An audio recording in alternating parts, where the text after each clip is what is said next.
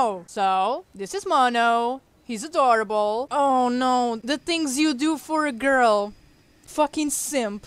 I love you, Mono, but you're a fucking simp.